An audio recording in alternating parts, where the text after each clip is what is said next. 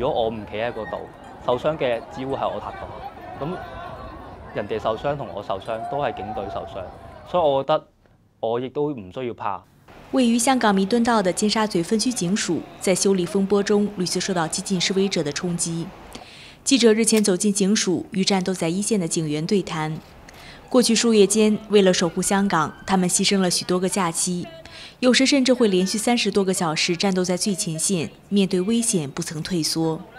年轻的警员 Jason 隶属于尖沙咀分区特遣小队，自2019年6月以来，他一直负责警署的防卫以及巡逻工作。在去年十月的一天，Jason 手握雷明登长枪，在警署的正门进行防卫，却受到了来自示威者的汽油弹袭击。咁当时就，我就因为我揸长枪，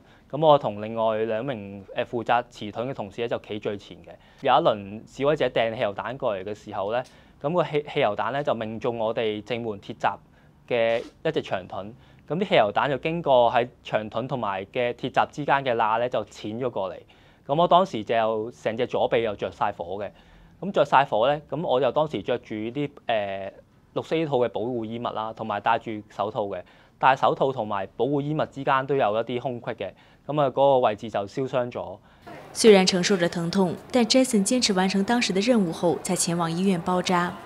只休息了三天，他就回到了崗位。家人和朋友無條件的支持，給予了他不畏危險的勇氣。Jason 說：如果事態平息，自己有一個小小的願望。誒工作嘅時間咧，都係喺主要係週末啦，咁就好少陪伴到屋企人。咁我希望可以有長時間嘅時間陪伴我屋企人同埋我另一半。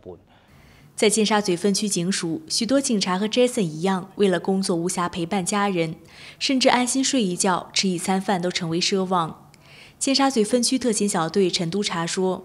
示威活動經常進行至凌晨，這段時間他基本上每天工作超過十五個小時，經常回家睡一覺就又開始投入工作。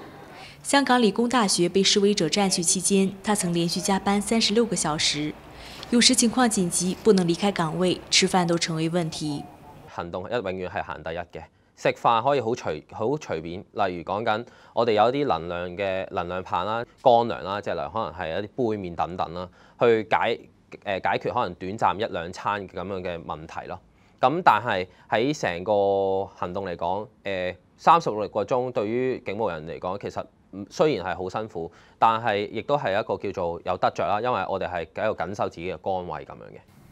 陳督察說：這半年多以來，警察承受着身體和精神上的巨大壓力，但他已深知，守護香港的繁榮穩定、保護市民的生命財產安全是自己的使命。陳督察希望違法亂紀的行為可以受到法律的懲處，社會早日恢復和諧與安寧。警察的堅韌付出也得到了社會上許多人的支持。尖沙咀分区警署的橱窗里张贴着五颜六色的字条和明信片，不仅来自香港市民，还有很多来自内地和海外。